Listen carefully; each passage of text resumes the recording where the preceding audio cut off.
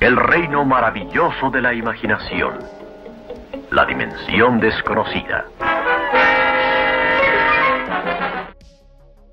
Paul Driscoll, un hombre cínico y desencantado con el rumbo que ha tomado el siglo XX debido a las guerras mundiales y otros eventos trágicos, dice que el mundo de ahora se ha vuelto tan malo que ya no desea vivir así. Busca desesperadamente una forma de cambiar el pasado y evitar, por ejemplo, la pérdida de vidas humanas. En su búsqueda ha creado una máquina del tiempo y junto a un amigo decide utilizarla en un esfuerzo noble por alterar estos eventos históricos cruciales.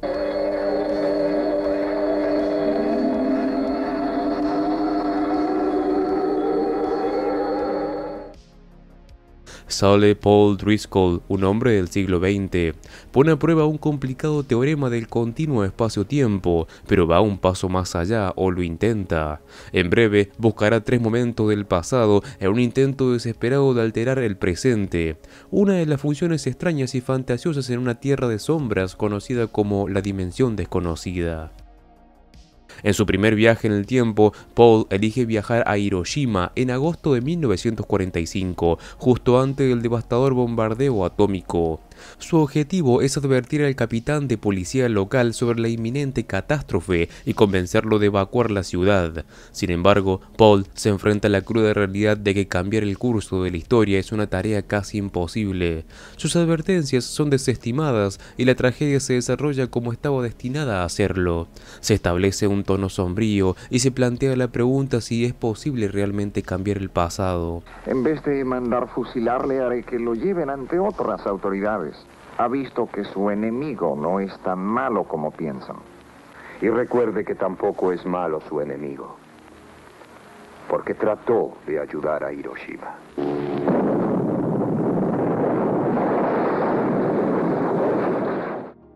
En su segundo viaje en el tiempo, Paul se traslada a Berlín en agosto de 1939, justo antes del estallido de la Segunda Guerra Mundial. Su misión es acabar con Hitler y de esa manera evitar el conflicto global que cobraría la vida de millones de personas.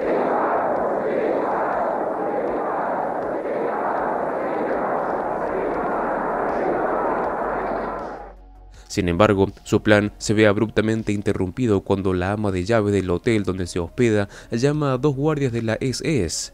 Paul se ve forzado a abandonar la misión sin lograr su objetivo. Este intento fallido resalta la complejidad de cambiar eventos históricos significativos y las dificultades para alterar el rumbo de la historia.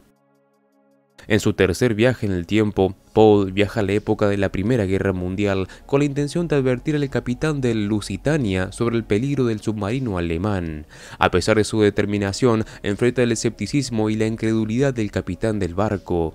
Ordena que lo saquen de su habitación de inmediato y la advertencia no es escuchada.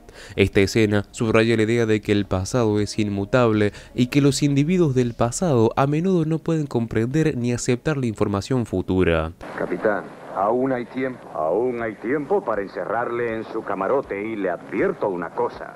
Después que averigüe cómo subió usted a bordo, puede que lo haga.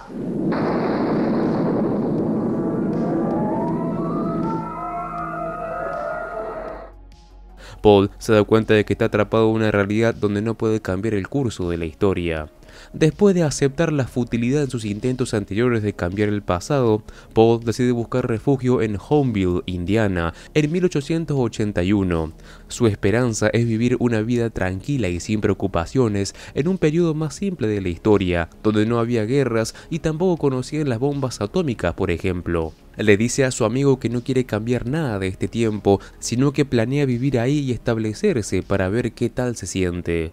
Al llegar, todo es como se lo imaginó. La gente se pasea tranquila por las calles y disfrutan de la vida. Le dice al cantinero que se va a quedar en el pueblo por un tiempo a vivir. Sin embargo, su vida tranquila se ve interrumpida cuando se entera de que el presidente James A. Garfield será asesinado al día siguiente. El presidente Garfield fue herido de un disparo el 2 de julio de 1881. Esto lo sabe por la historia de los libros, pero a nuestro protagonista le entran todas las dudas si debería intervenir en esto o no. A pesar de tener conocimiento de este evento, Paul toma la decisión impactante de permitir que el asesinato se lleve a cabo. Este acto plantea preguntas profundas sobre la moralidad y la ética de intervenir en eventos históricos. En Homeville, Paul recibe una pensión donde conoce a Abigail Sloan, una profesora local. Un día, en la mesa, tiene una discusión con otro de los residentes de la pensión que tiene ideas de las cuales no está de acuerdo y le revela que esos pensamientos van a acabar con muchas personas en el futuro. Lo siento, pero no soporto oír a aquellos que nunca fueron a la guerra. Aquellos que hablan sin conocer la realidad. Él se lleva el desagrado de todos en la mesa, excepto por la profesora que lo sigue y quiere saber más de él. Sabe que hay algo extraño y duda de dónde viene. Quiere saber qué fue eso que dijo antes en la mesa y por qué ahora sabe lo que le iba a ocurrir al presidente. Paul trata de no darle la verdad y simplemente le revela que quiere establecerse en este lugar y olvidar muchas cosas que están en su mente. Resulta que Paul ha traído un pequeño libro porque ha hecho una investigación exhaustiva de todas las fechas importantes en las que ha sucedido un evento en este pueblo y después de recordarlo bien, se da cuenta de que este día, el 3 de julio, mientras hacían los ensayos para el desfile para el día siguiente, la celebración de la independencia, se va a producir un gran incendio en la escuela local y se va a cobrar la vida de 12 niños. Paul, una vez más, se ve involucrado en estos pensamientos de si debería hacer algo para prevenirlo o no, pero como se prometió a sí mismo, va a dejar que todo suceda como debe ser. Recuerda las palabras de su amigo que le dijo antes de emprender el viaje, que si por alguna razón cambia algo de esta época va a provocar una reacción en cadena en eventos futuros. Dicho incendio, dice los libros que va a ser causado por una lámpara de queroseno expulsada de un carro fuera de control. Nuestro protagonista puede identificar dónde está la lámpara de queroseno, es de un vendedor que ha llegado al pueblo. Sin embargo, en lugar de evitar el incendio, Paul accidentalmente provoca el desastre que pretendía evitar.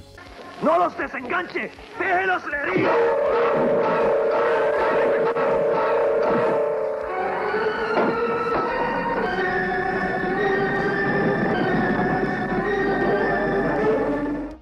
Esta ironía sirve como una metáfora impactante de cómo los intentos de cambiar el pasado pueden llevar resultados inesperados y desastrosos. En la escena final le revela a Abigail Sloan de dónde viene y que sabe demasiado sobre todo lo que va a pasar y no puede vivir con ello. Eso no lo deja tranquilo. Lamentablemente le gustaría quedarse, pero lo mejor será volver de donde vino. Y sufriré siempre donde quiera que vaya. Toda época tendrá sus males y errores, pero no me arrepiento de haber venido, porque te conocí. A una escena emotiva y con un beso, Paul vuelve al presente. Se reencuentra con su amigo, que le pregunta por qué ha regresado tan pronto. Paul le responde que intentó cambiar algo del pasado y que todo salió muy mal. Dice que lo que quiere ahora es quedarse acá en el siglo XX y hacer todo lo posible para un futuro mejor. El mañana es lo más importante. La narración de cierre dice lo siguiente. Incidente una tarde de julio de 1881.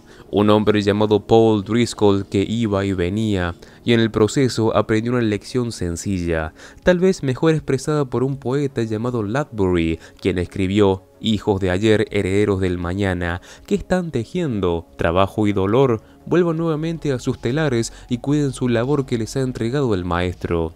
La vida es un telar, denle espacio y lugar. Esta fue la historia de esta noche sobre relojes y calendarios en La Dimensión Desconocida. No Time Like the Past es un episodio que deja la impresión duradera de los espectadores debido a su exploración profunda de temas existenciales y morales. A través de las experiencias de Paul Driscoll, el episodio nos recuerda que el pasado es inmutable y que nuestros esfuerzos por cambiarlo pueden ser fútiles o incluso contraproducentes. El episodio también plantea la pregunta de si es ético intervenir en estos eventos históricos, incluso si creemos que estamos actuando por el bien mayor. Paul, en última instancia, opta por no interferir con el asesinato de Garfield, lo que destaca las complejidades morales que enfrentamos al tratar de cambiar la historia. La historia de Paul Driscoll en No Time Like the Past sirve como una meditación sobre el tiempo, la inevitabilidad de la historia y las limitaciones de la intervención humana en los eventos pasados. Este episodio es un recordatorio de que, aunque el viaje en el tiempo puede ser una fantasía fascinante, la realidad de nuestra existencia se basa en vivir y aceptar las consecuencias de nuestras acciones en el presente. La dimensión desconocida continúa siendo una fuente de reflexión sobre la condición humana y la naturaleza del tiempo y la historia. En los comentarios déjame saber qué te pareció. Además, te cuento que si te gusta la dimensión desconocida, estoy subiendo capítulos todos los días. Te invito a que entres al canal y veas toda la lista de reproducción completa. Como siempre, me ayudas muchísimo al dejar un like y si querés, suscríbete así no te perdés nada de mi contenido. Un saludo, Master Movies.